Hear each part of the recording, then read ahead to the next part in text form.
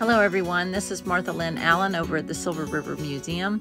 Here's a quick video we did of Robert Wilson's presentation this summer. I hope you all enjoy it. Thanks.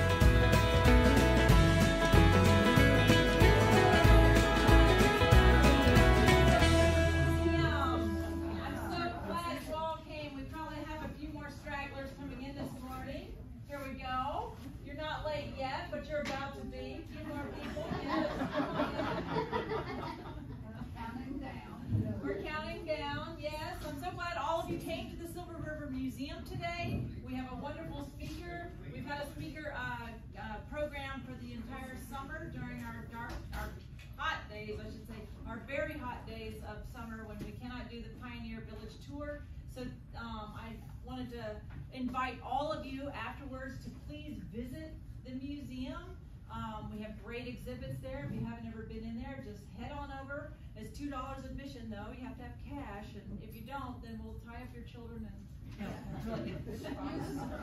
no, no, but I do, I do have a deal. If you don't have the money to get in and you, and it, you just didn't have enough cash, the deal is when you come back, you bring seven friends and they all pay to get in and bring that extra two dollars for yourself. And I'm happy with that. It's just, a, it's a deal, okay? All right, so I'd like to uh, welcome you uh, to our presentation today. Robert Wilson. He is here. Isn't he great? He's a living historian. Sorry about that. That was my alarm to tell me to start this. so he started in 1993 doing rendezvous or rendezvous as a trapper and a trader. Uh, a living historian that comes out as an interpreter, dressed in his garb, bringing his tools here with us today. And he's been doing this for 23 years. Isn't here. that amazing? Here, oh, here. Yeah. At, I started in 93, but I've been doing Silver River State Park since 2000. And my first uh, gig here, you can say, was uh, Tomoka State Park and sent over one of their rangers. He set up a camp. And I looked at him, I said, you need any help? And he says, you got the clothes? And I said, yep. so I showed up the next day and I helped him out. From then I was hooked and I've been doing State Park since, but I've done this one for 23 years, coming this November. Congratulations. Yeah. The park is very fortunate. Uh, how many people we got here that would like to have been a pioneer from 200 years ago? Maybe by the end of it, I'll take another survey. See, you know, because I hope you're to learn a lot from this. Because I did. All right, so the definition of a pioneer by Oxford Dictionary, the first definition is that somebody that is among the first to go to a new country or area, which you can count a lot of people as that. Even the indigenous people that come here, they can be considered pioneers themselves for coming into Florida 10,000 years ago. The second definition is somebody is a pioneer to be in new methods or knowledge or accomplishments. So we're going to touch on both of those through this, but mainly the pioneers that came to Florida. These are the different periods. Basically, we're going to start in 1821 and go through to about 1890. And pioneers had a, drive to come to certain areas. And Florida had um, a couple different things. Here you see the indigenous I was talking about that had come here from basically the land bridge all the way across the United States and into Florida. That was before 1513, which had changed. So we had the Spanish show up. They come in here, and of course, they were conquistadors. They did a good job at that. And um, so they changed pretty much everything that the Indians were familiar with. One of the things they left was the cattle and the horses. And we'll get into what the importance of that is, but I wanted to illustrate that they were the ones that brought the cattle and the horses to Florida. As you can see, this is what it was like when we became a territory. These were already states of the United States. So we had Florida as a territory, Mexico, of course, belonged to Mexico. Then we had this up here, was all still open to become territory. And I'm gonna give you a little idea what went on here, but next one. of course, if you're gonna go into an area, and believe me, you didn't have to, wasn't one particular way, there was plenty of individuals that came into Florida that basically had their haversack, their gun, a few things that they needed to come in, some tools to work with, so they could establish a place to live. Then you had other people that brought lots of stuff, as you can see, the different types of tools. Everything you could bring with you made your job easier, hopefully. And then if you could bring people with you, brothers, uh, kids, wife, etc. Of course, you had to have a wagon. So think about this: the wagons back then at that time was running about a hundred bucks. Today, that's two thousand dollars in today's money. Okay, to equip that wagon out with everything you needed was going to be over a thousand. That's twenty thousand dollars in today's money. So you had to really want to take a chance on your investment. You got to realize a lot of people lived up in the states, and when they knew it became a territory, that gave them the ambition and, of course, the drive because now they could own more land. They could still keep what they had up there, leave it with family, but yet come into Florida as a territory and get new land. And there was other reasons they came in too. All right, so during this period here, it put a damper on it because the Indians, you realize from the time it became a territory, people were coming in. Indians weren't happy about that because they were still here. They considered it their land. Of course, there was different treaties, and the treaties had been uh, broke. They weren't negotiated properly. So during the Second Seminole War, you had to be really brave to come in here and try to settle, and some people did, and successfully. They managed to survive, but there was quite, quite a few people that lost their lives that uh, were coming into Florida during this period here. Now this one, when the war was over, uh, they had tried to come up with a method, and actually the Romans had done this in Gaul. They had enticed some of their soldiers to stay where they had conquered by giving them land. They did it in West Virginia too. They enticed people to stay in hostile territory by having them armed, and then they would give them land in trade. So our Armed Occupation Act here went through Congress. Didn't go over well at first, but then they managed to uh, present it in such a manner. And what they would do is they entice people to come down here, move into the territory, because the Indians had been moved out to Oklahoma. The few ones here had moved down south towards the Everglades. And they determined most of the north part of Florida was uh, occupied well up by Tallahassee, all across the panhandle. And to get people to come further south, they promised them they could have 160 acres of land. If they moved in, they were armed, they had to uh, basically improve five acres over five years.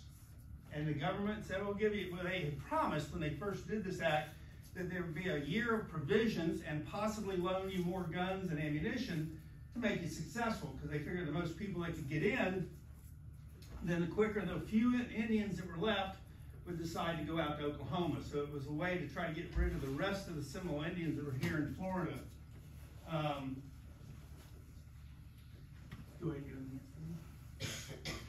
so after the Armed Occupation Act, which basically was about three to four years before it became, they deemed it successful. Give you an idea, I had a few notes written down, I'll give you some figures on the, um, they had actually turned out a thousand, at the end of the Act, they turned out a thousand one hundred eighty-four permits were issued and distributed, which meant uh, they had actually set aside two hundred thousand acres of land, and out of that permits, that took up 189,440 acres of the land. Uh, 128 were denied for technical reasons, and 60 people, after being here for five years and trying to accomplish their goals, decided they didn't want to live in Florida, and they went back home. so, basically, when it became a state in 1845, Florida was in two sections. You had East Florida, and then you had uh, West Florida. So another thing to improve, improve and entice people to move in was, of course, become a state, because then you had laws, you had people enforce laws. Then you had uh, something I skipped over before that became the state was they had established two offices here in the state of Florida so you could register for your land that you were applying for during the Armed Occupation, Occupation Act. One office was in Newnansville, Florida, which was northeast of Gainesville by 10 miles. It's not there anymore. The other office was St. Augustine. So can you imagine if you come down here, you establish your property, you go through the trouble to improve it, and then you put on the permit, you didn't have to have it surveyed. You could say it was by the edge of this creek and it went over to so-and-so's land or to this Indian town and such. And then get it to the office. Well, they allowed other people so the people would get together and let one guy take their permits to either St. Augustine or Newnansville register them so they basically had titles to their land the end of the five years. When it became a uh-huh. state, then of course there was more towns coming up and being populated, so the enticement of Pioneer didn't have to carry all the stuff that we discussed earlier. There was trading posts established all through the state. After the Civil War, they had set up quite a few forts to help with the soldiers. Those forts had trading posts on them. One of the rules of the Occupation, and Armed Occupation Act is you couldn't take land that was within two miles of a fort, and you couldn't take an island or port or any area that was strategically military uh, when it a state, a lot of people started moving in even more than the Armed Occupation Act. Here's an example you can see. It's also log, but you can see some sawn boards, or they were frode boards, and then this actually has a shingle roof for a lot of the early um, dwellings. I mean, you just have to imagine, any, any of y'all like to watch uh, Alone series? And you see the shelter. You have to imagine what kind of shelter would you build? You know, would you try to get elaborate, or would you just keep it simple and work on the other things? Because there's a lot to do on taking a piece of land and occupying it, clearing it, and improving it. And then another thing that the ad had on it is you could not cut the trees and sell them. You could only cut the trees on your property to make buildings and fences. That kept people. The government was pretty smart because they knew people real well and they didn't want people just to come in and timber it and sell it. So you had to use it, use it to build something practical. Next one. Then we had the, the Civil War. That, at that period there, of course, I think there was like 2,000 people left Florida to join Union troops, and a 1,000 of them were slaves that moved, went up to join the Union Army up there. And a thousand uh, people that had settled in Florida because of the conflict decided to go north and side with the Union. The uh, important thing about Florida was, of course, the, the cattle that the Spanish had left here, the horses, and then the agriculture that had been established was what basically supported the, the Confederate states in their venture to go against the, the Union. It was uh, over the slavery issue, and Florida was main thing was the uh, supply salt and meat and food for the soldiers. The Union. Um, as you can see here, there was very few battles in Florida. You had uh, one up by Marianna at the Natural Bridge. You had Olustee. You had a small one in Gainesville, and then there was one at Lake um, down near Miami, I think. But you see that the blockade, this was Union, and they were trying to keep anything coming in but there were still uh, blockade runners that brought in guns and supplies from various countries and managed to get by the blockade. So they controlled this pretty much the whole time and um, was not successful, but they did they did enough that it did damage the ability for the, the South. When the South started, they had a really good foothold, were doing well, but by the time the blockade stopped the supplies, then the war started to dwindle. So you had different opportunities. There were still people coming down here for opportunities during the war, and there's few people had left. And the Reconstruction brought a lot of people in because as the Federals had established themselves here, they had taken over Tallahassee at the end of the Civil War, and um, they were trying to rebuild. So one of the things that made a lot of people come into Florida as pioneers at this period was due to the fact of all the destruction from the war, because there were buildings that were burnt down, they were uh, basically damaged during battles from cannon fire and such. so the demand for timber was really high. And so you could either come down here and get into the timber industry, which was going to be eventually turned into lumber and boards for rebuilding. And many of the um, products that were produced here in Florida were shipped back up north out of the port. So you could have a job working in the port. So it was a, it was a reason to entice people to come to Florida and help with the reconstruction. Now the railroad expansion, this is a, of course you see here we got Silver Springs and you can see the rail line here. And then we had the, the boats, which the boats were the biggest method until the railway come in and the, the railway just enhanced the amount of people coming into Florida, made it a lot easier than going by boat. And they could bring in more goods, and with more goods, it enticed more people to move to Florida to, develop the area, more farming, more timbering, etc. Um, you had two major players, and the reason they got involved was just like the Armed Occupation Act because the government said, well, we need to figure out how to get people to put into the infrastructure without us spending the money. So the government was willing to give them land at an extremely cheap price, and sometimes they gave it to them for free. So you had uh, Mr. Flagler and Mr. Plant, both were wealthy people. They're both into railroading and building. And Flagler pretty much established his uh, system down the east coast of Florida, while Henry Plant established the west coast of Florida. And the um, you can see the, I, the, the railroads are self pretty much down both sides, and then of course intersect to important ports.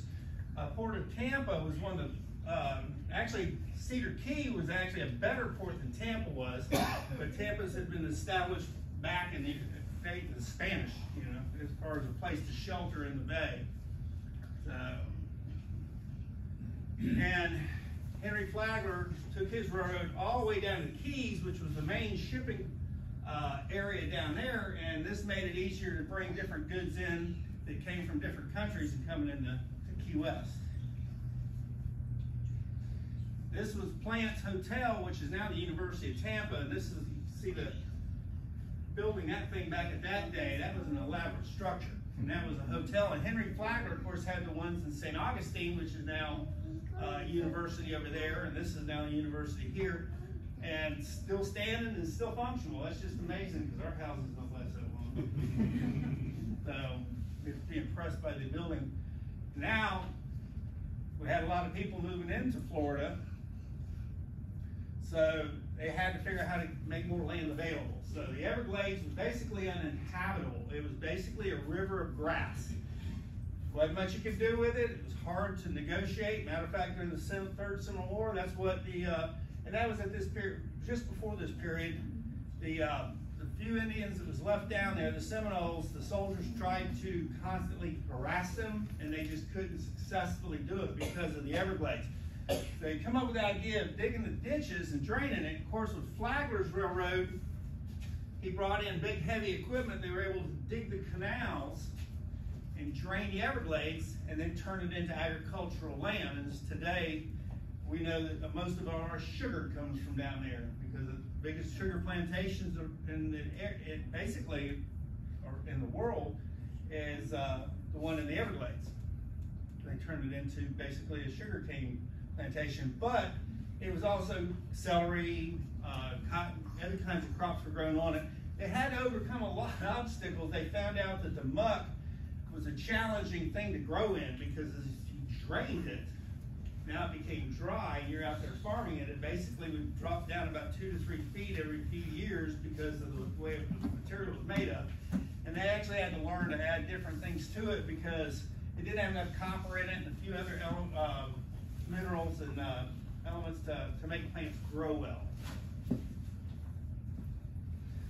So, uh, what we're here now is basically at the end of this, we'll do, I'll show you the tools and stuff and discuss about the, the things that the pioneers carried with them as they came in. But as we were talking about pioneers, Florida still ha has a lot of pioneers. We have our, our space agency, which is you know constantly growing, and of course everybody has a cell phone, so we have all the communication things that are necessary by satellite, feed the cell phones from the cell phone towers.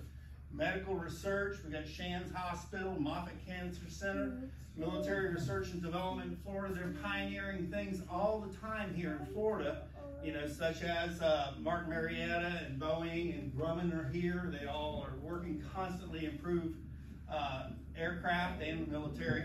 The agriculture and cattle, the University of Florida has a huge, the IFAS system there. They're constantly uh, bringing in new methods of fertilizer and uh, how to manage the land in a proper manner so we don't have the runoff, we don't have the nitrates entering the, the rivers and destroying that. The horse industry and a lot of other small various uh, industries that are improving our lives every day. So that, that's our pioneers we have today. We all have opportunities to be a pioneer of one kind or another. So think about that. Lights.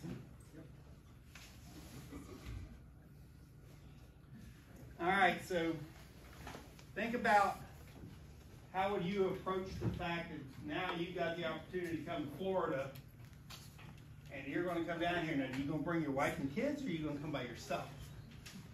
Okay? A lot of people did it both ways. There's a lot of women were left up in their uh, areas like in Alabama and Georgia and such, and the husbands and brothers and all would get together and come to Florida. Depending on how much money you had, what you could afford, if you could get a wagon that was good size, a team of good animals, it, uh, it was endless what you could carry. And most of the things you see, the tools, everything you had, this is what we call a buck saw or a bow saw. This is a, a single man saw, but it is a, has a handle that can be put on it so it can be a two man saw. If you're going to timber a lot of trees to cut down cypress to make shingles and stuff, it would be nice to have a peavey to roll it over instead of trying to roll it by hand. This was used to, to go around the log, and when you pinched it, you could roll it over to cut the limbs and trim it off. a set of tongs was better than wrapping rope around it every time you needed to move a tree. So you would basically open this up, set this on the tree, attach the rope to this, and use your animal to pull the tree up where you could work at it. Of course, the saw would cut the tree down. The pea would allow you to cut the, uh, the limbs and such off. Some of the tools you would use to work the trees, this is a froe. You could actually use, use this to split shingles because as I told you about the roof that was covered with shingles, this is how you had to do it. So once the logs were cut into sections, cypress was your main wood for things like shingles and, and splitting into boards because it split really nice. This would be driven into the board with a mallet, and then you would work it back and forth and it would split. And you just work it down and split it. You get a shingle or a board off of this. Working different tools, things were pinned together. This is what the uh, auger would have been for, was to drill a hole then we would use the, froe to split square pieces. We would use this to bring them down to a round dowel. Uh, of course, you know, if you're fortunate enough to get a keg of nails and bring with you, it saved you from doing a lot of the, pegging that went with it. Um, gouges, these were mortise gouges here, so you could do square pegs. Uh, different types of chisels for shaping and working the wood, clamps to hold things in place while you worked on them with the wood. This was a very important item, was a string for with a bob because it could be used like a level and to um, basically get your areas the same when you're building a, a cabin. Uh, canvas was important. This would be something you had lots of because canvas was used to make shelters and it was used to carry stuff in. Rope because making rope you could be done like I said, if your your spirit was good enough and your drive was good enough, you could probably come down with a gun, your provisions for you to cook and eat, and an axe. And there is stories I've read through the different places, like Fort McCoy's got a book on history in there, and there was a gentleman that come down with nothing but an axe. He didn't even come with a gun. Basically had a thing to shoot him a place to stay in. He had canvas, he had his personal items, but then once he got to Fort McCoy, he worked for everybody else and then he would take his labor that he got well he got paid most of it was in trade he would borrow tools he would get the things necessary for his place and he ended up becoming a preacher and uh, got married and, all but came down with an axe so it shows you it could be done And of course, you determine on one thing, how much money you have, which could you spend on, what could you carry, you could get an animal of burden. And believe me, it was, the, we were talking about the cattle and the horses that the Spanish left. Well, that was another big drive. It wasn't just owning land. There was people that came down here just to round up the cattle that the Spanish had left and the horses, and they sold them, and then they used that to purchase things they needed. They were just had the experience to do that. There was plenty. Actually, there was an Indian here during the 1760s in Gainesville at Paynes Prairie. That was the town of um, Tuscaloosa.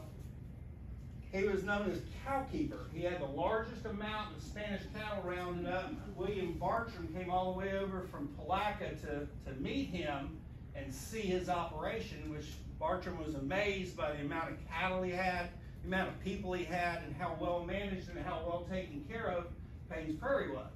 That was a notable thing in Bartram's travels, was the, uh, the Indian chief uh, cowkeeper. Um, so with the uh, fact of the, pretty much Florida getting populated to the max, and they're, like I said, still pioneers today.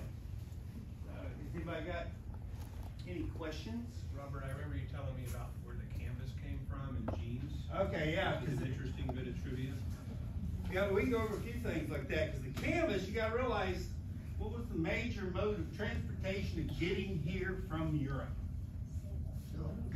Sail, sailboats, right? Ships, big ships. And those ships, the bigger they were, the bigger their sails were. Okay, one thing about being a successful captain, a successful person working on a ship, is to keep that ship from getting floundered or sinking. And so changing sails was like changing tires. So they would look at the grommets, they look at the overall condition, and when it got where it was not good enough for that ship, it had to be taken down and replaced. And they usually carried two extra set of sails on the ship to replace everything they needed to replace. You didn't throw it away, you didn't throw it beside the ship. So That was one of the biggest trade items that come off the ship that was basically already paid for, was the sails. And so they would use that canvas. Matter of fact, the Spanish their introduction to canvas changed the way the Plains Indian lives because the Plains Indian had been using buffalo, antelope, and other hides for their teepees.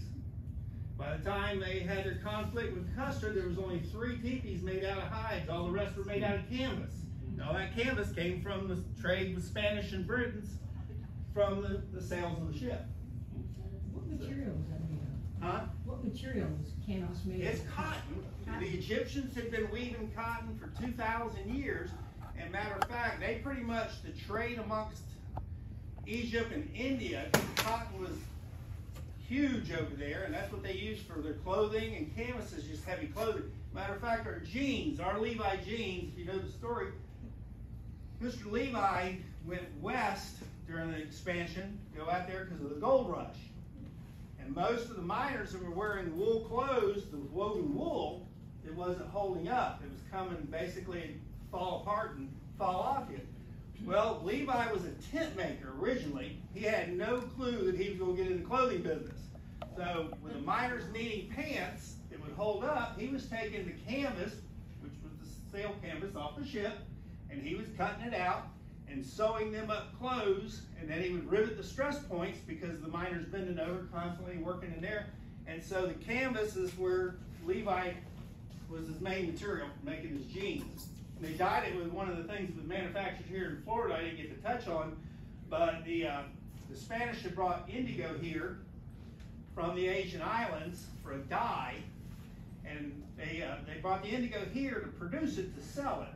Well, the British, when they had Florida from 1760 to 1780, the British really liked your colors. They loved the yellows, the blues, the reds, and indigo blue was one of the most desirable. And they basically, when the British were here from 1760 to 1780, they had the demand for indigo so high across the world that it actually brought more money than gold. You could buy gold cheaper than you could indigo dye that period.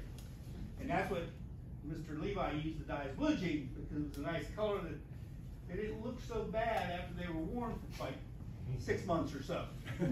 so you could walk into a store and be kind of presentable, you know. Because if it was still white canvas, it didn't take much. Be real dirty. Oh. Anybody else got any questions?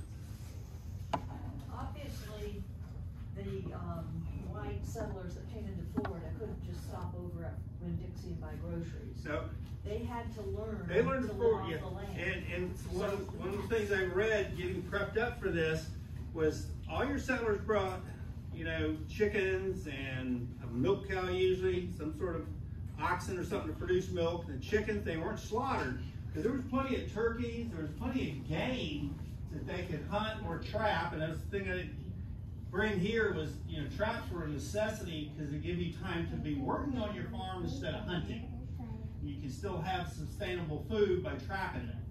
And so there was quite a bit of that, and then it became commercial, but traps were usually used to supplement without having to hunt.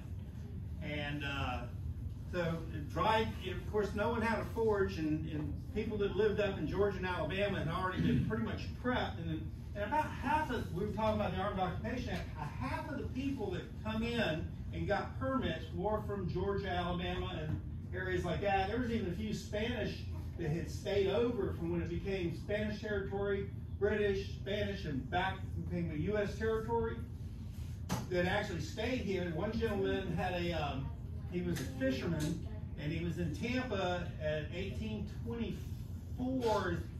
He come well established, but he didn't apply for his land until the Armed Occupation Act, so he applied for his property at that time. But he was a Spanish, originally a Spanish person from that period. So my question was, Oh, they had sorry. to learn, they had to learn how to plant things and grow things. Right. Which, which is, but Florida's climate is harsh. Well, it's also, Hot, Dry, hurricane, stuff. How much interaction was there with the native people?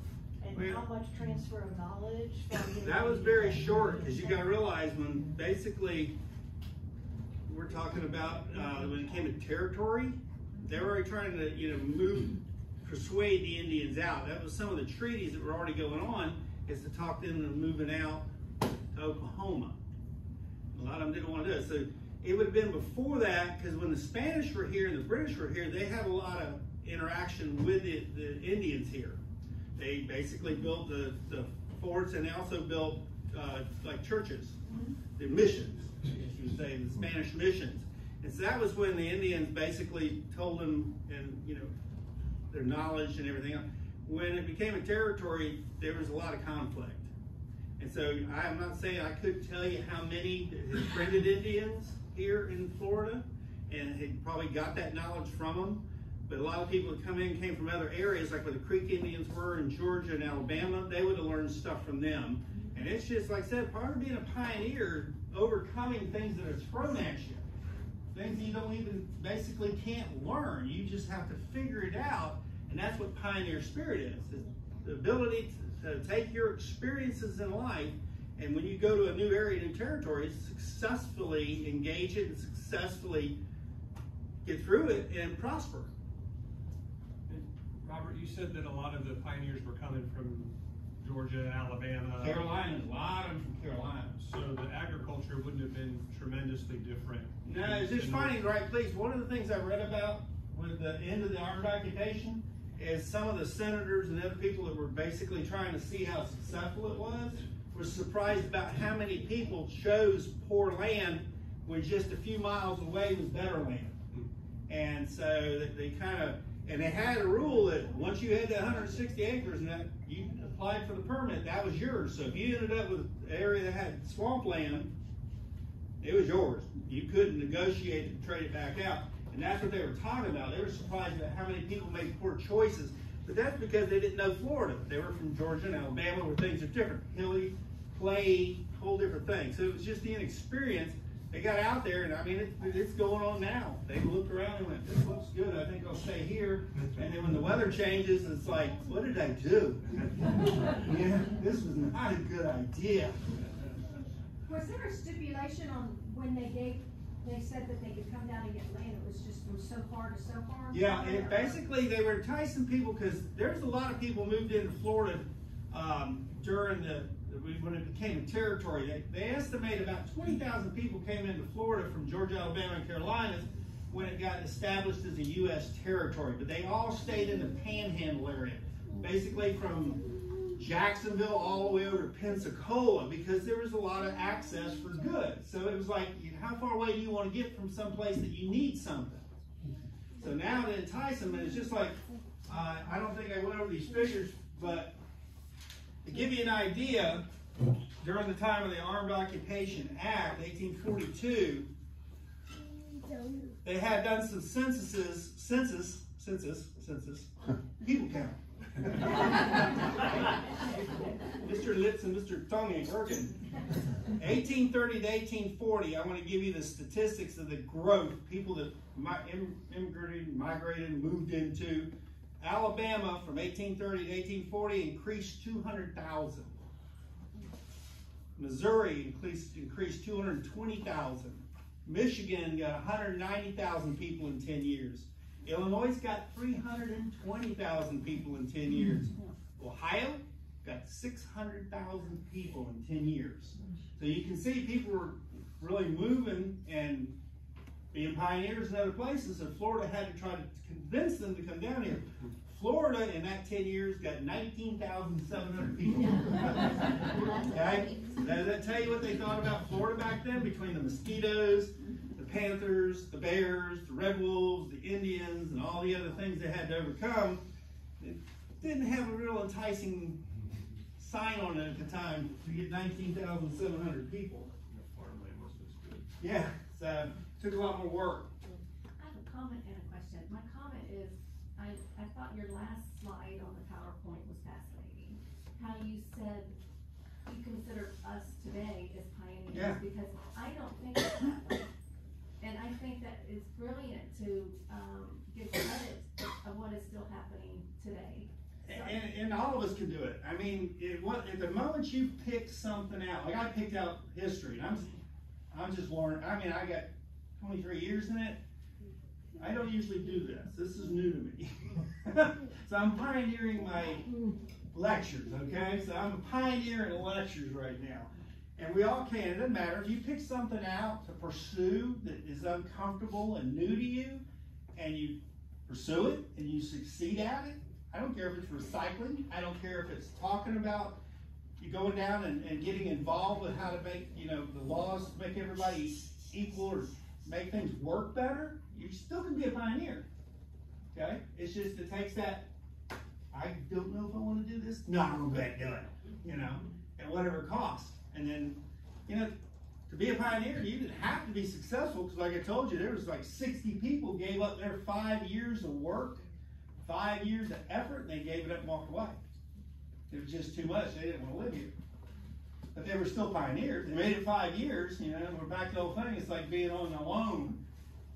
Yeah, if you made it three days, I don't know if I can give you a star. But you got somebody made it 89 days, and the next person made it 91. They were awful close, you know, succeeding. Well, the question you sort of touched on it was how did the pioneers deal with the mosquitoes the? Well, like the Indians, you gotta realize, you know, the indigenous people here have been 12 to 15,000 years in Florida. And they had learned to use different herbs, and they used a lot of smudge fires. A lot of, you know, and they had their camps, and then they were in the mosquito season, they'd have smudge fires going to keep the smoke around. And then, of course, being on the move helped. But I, I tell you, I was up at Rodman Reservoir two days ago, and I could not believe how bad the mosquitoes were. and that's the first thing that crossed my mind is, you know, and I used to coon hunt, so I can tell you, because you can imagine what it was like to spend the night here in Florida. So you got a wagon full of stuff. You got your wife. You got three, four, five, six kids, whichever. You ain't unloading that wagon to sleep in it. 'Cause you got too much stuff in there. Now we're back to the canvas and blankets and the necessities that you took with you. You get underneath your wagon and spend the night. And then you got to listen. It starts out, you're the noisiest animal in the woods when you got there. You're doing all this clanking and the horses moving around and everything. You get dinner cooked, you get fed. This is all before dark. We didn't have flashlights and lanterns weren't much. You know, the little candlelight going on. And then you lay down, and next thing you know, you hear a panther yell, squall, you know, and then you hear a bear, you know, kind of grunting and growling. Then you got pigs left over from the Spanish that are coming up checking you out. It's total dark, you know. You're not going to keep a candle burning. You might keep a candle burning all night, Yeah, it'd be pretty. I used to coon hunt. I had to sleep by trees quite a bit, waiting for my dog to come back. And you hear all kinds of stuff after you turn your headlight off, and you get quiet. It's their turn. Well, yeah, they had mosquito nets. The Egyptians had been weaving uh, that type of cloth 2,000 years ago. And so if you were lucky, smart enough, you'd have to invest the money in a mosquito net. When was Fort King established and, um, what was relevant about it? Well, the thing was, basically with the Seminole Indians, and Osceola was based out of here, this area was the, well, this was the main bed of Indian activity. And so you had forts all the way, you had Fort Brooke in Tampa, Fort Clinch in Jacksonville, you had Fort McCoy where I live at, you had Fort Russell. you had Fort Butler, there, there- usually within a day's march, there was a fort soldiers to stay in while they were trying to get the Indians to leave. Fort King was one of the bigger ones, cause it was like halfway between Fort Brooke and, and Fort Clinch. And so it, I think it was built three times, it was, uh, twice, okay, yeah. And the third time it was torn down, I think, and used to make courthouse or whatever, but it was burnt down twice, wasn't It was burnt down one time and then rebuilt and all the wood is now, with wood used downtown. Okay. And so it was necessary to kind of try to keep the Indian, you know, get the Indians removed. I grew up in central Florida, about twenty miles, thirty miles east of here. We, in each county, there was somebody that was a big landowner who, what my folks would say, got a land grant. Like the Strongs owned Volusia County, another Strong owned uh, Seminole County, and I don't know the name of who was over here, but there were people here that had great amounts of land. Now, after your presentation, I figured out how my folks got three plots of hundred and sixty acres, which was swampland, I figured that out. Anyway, how did that happen? You talking about the big grants? Yeah. The big land grants over Yeah, hundred and sixty yeah, acres? yeah. I believe that was during the Spanish, a lot of them were Spanish land grants. Yeah, the, the historic families would make a foothold, sell cattle, get rich and buy, buy all the land around them. Yeah. My, my father would say they're land poor because they spent all their, they owned all this land and it wasn't useful.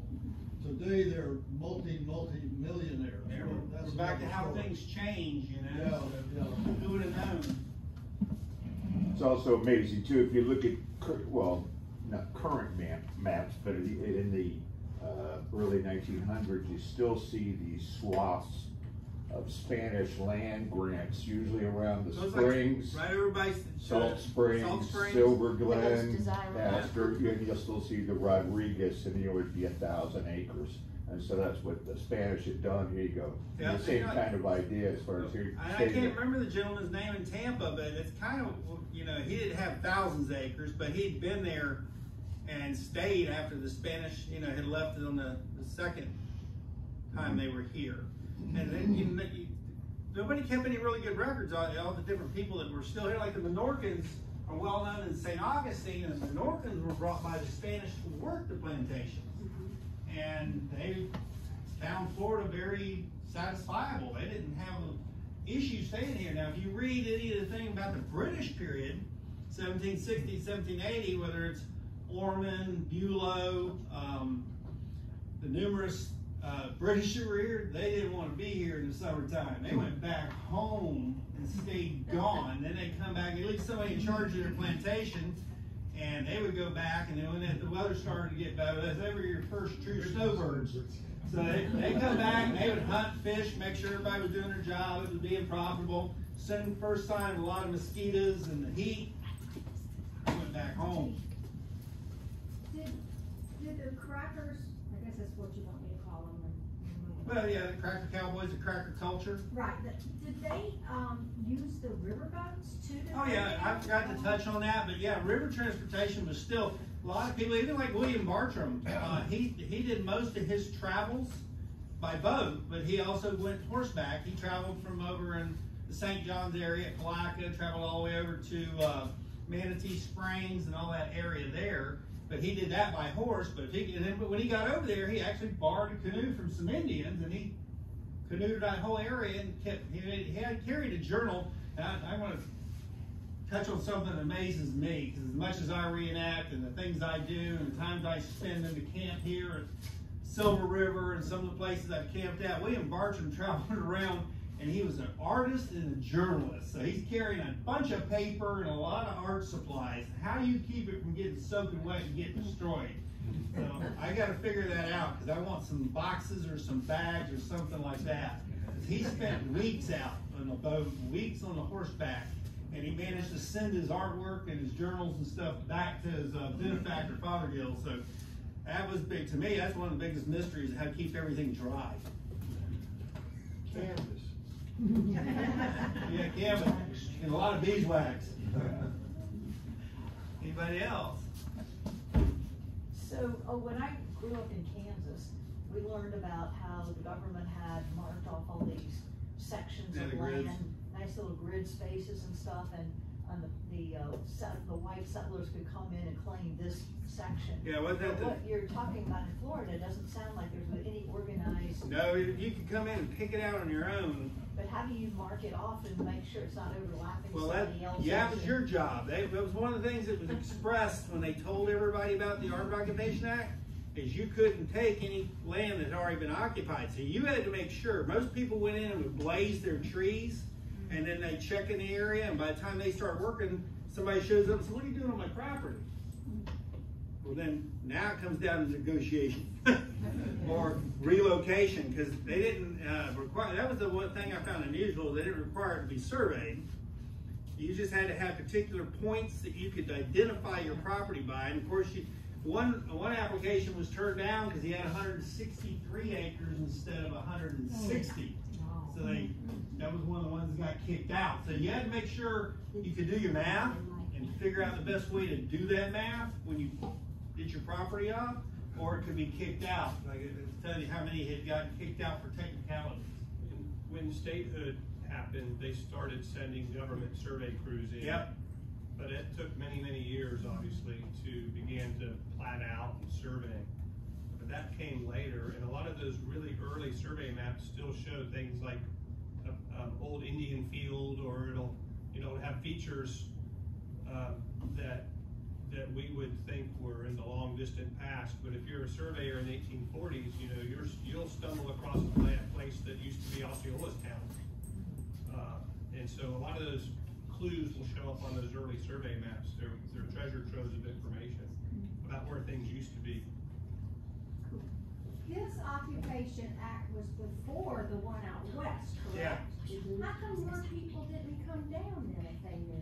Cause that one was full of people. Probably because of the things about the mosquitoes and the, you know. They read some of the accounts.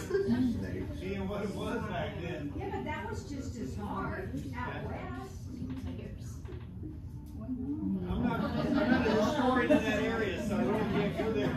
Yeah, but that's a dry heat out there. yeah.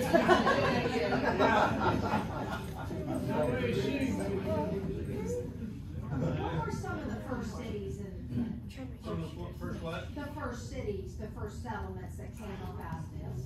Uh, you know, basically Jacksonville, Pensacola, that, those areas there, the ports were your biggest ones, Tampa, Miami, uh, any place they could get a ship in, St. Augustine. How about the inner part of Florida? How- what some of the first cities? Huh? Micanopy. Yeah, Micanopy, because that was the big hot spot during the Civil Indian War.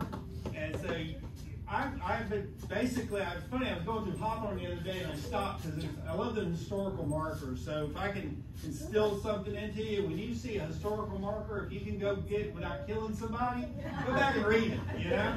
And I passed one downtown Hawthorne, and that town was established in 1880.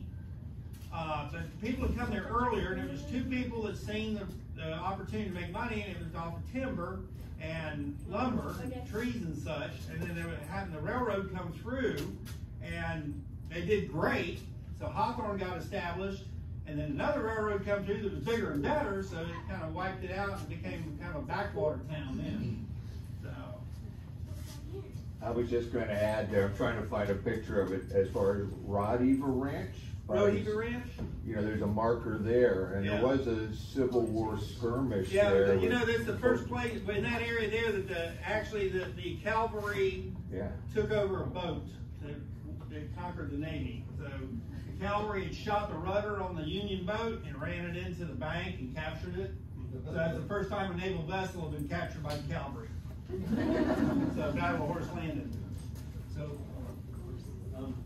wasn't the, the road from Fort Brooke to Fort King, like really the first road in, down in the bottom? All your roads were pretty much established off of Indian trails where the Indians had been trading and stuff, like uh, down when you get down to Tampa where Weedon Island is, the pottery and stuff. The Indians traded amongst each other, especially up here on the Timucuans, because they, you know, the Calusa was the, they were hunter gatherers, and then the Tequesta, and then Appalachia, but the Timucuans were the biggest group, and they did a lot of trade. And so those trails had already been established, and when the Spanish got here, they followed those Indian trails. And then they improved them, made them wider so they could pull their wagons, and from that point on, it was just constant improvement. So a lot of your roads today come from roads that were established from Indian trails. And of course, commerce, the highest amount of commerce going from one place to another. And of course, Tampa Bay to Jacksonville. So, I think, accents. Yeah. I see a lot of different accents. Yeah. What's the purpose of one versus? Well, various things. This is broad as here. This was for, hewing the logs, okay, to get them square and flat. And it's shaped like that so you can work the, get a nice square cut surface on it. This is a general, this is like a tomahawk or a Viking. It's basically uh, general purpose, personal, standard axe head. They were double bit such. This was mainly for falling trees and starting notches and doing crude work. And then other stuff like this was for finishing work, cutting out troughs and such. So there, I, there, there's about half of what was available back then at the time. I could, there's just no way I could bring all the stuff that they would have used in that period. And the wealthier you were, and the more resources you had, the more you could carry. And it determined how fast and uh, labor saved you, you made it for yourself to become successful. And that was the goal of a lot of people. Like I said, between the cattle and the land, you could become a wealthy person by just showing up with, I mean, it probably took every penny you had from wherever you came from, and that was a chance you took. Like I said, can you imagine that decision you had to make at that time to do this venture? And that is the true pioneer spirit. You just decided to do something. You may lose it all, you may die, you don't know. So you do it. Can you imagine going home and telling your wife, hey, we're gonna hop in this wagon? Yeah. Hey, Robert, Robert, as we, uh, as we wrap up here, um, I think we should recognize Fort King and, and Samantha and mention your Right. cast iron cooking just briefly, and then if people wanna come up and, and look at things up close, Yeah. as we wrap up, I think there's that Yeah, make sure, uh 'cause we have a lot of wonderful things, resources right here, Fort King is becoming, uh, I mean, I did quite a few events over there, I did cast iron cooking. Uh, we got a wood fired pizza oven, and we even have, uh, little get-togethers and learn how to do pizzas in that pizza oven, which I think is fantastic.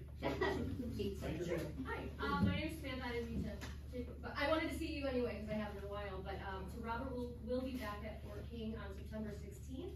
It is a cast iron cooking class, um, from ten to twelve, so you can register online, get your whole nice lunch, uh, ready to go with a bunch of other folks, and he'll That's the I whole mean, I didn't second, put that on that's there. the whole second part of the talk is the food. You Yeah. have to go to Fort King in September for that. Yeah, And I'd like to thank Scott for helping me with my program here, 'cause like I said, this is new to me, I'm a pioneer, I mean, I can, I'll take anything you can throw at me for what, I can improve it too, cause this is, like I said, I think this is maybe my third or fourth attempt at, like this, cause usually I set up a camp, and you come into my house, and you ask me questions, and I answer them. So, trying to stay on track and not get derailed and everything, that's what Scott helped me with, so, and he did such a fantastic job. Well, we, we think you did great, Robert. You're welcome. And, and like I said, make sure you make- get over to Fort King. Yep, and I also need to thank Martha Lynne Allen for organizing these talks. She went out and found all of our speakers. Martha Lynne and Candy, raise your hand, Candy.